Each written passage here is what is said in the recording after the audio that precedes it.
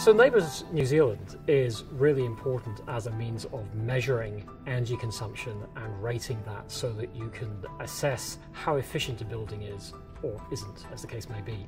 So in looking for a building with a good NABERS NZ rating, there are a number of reasons why you should care.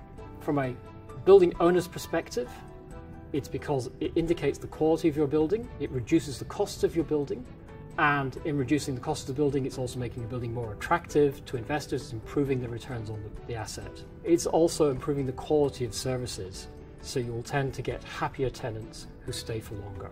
From a tenant perspective, it's always good to look for a high NABERS NZ rated building because of exactly those factors that I mentioned for the landlords. It means the services are working well, it means you're not wasting unnecessary money on outgoings, and you've got some guarantee that the building is cared for. Within your own tenancy, it's about cost and it's about saving costs in running a tenancy. You'd rather spend your money on staff than lighting. So put in an efficient lighting system, have a good NABERS NZ tenancy rating, and you can spend more money on your staff.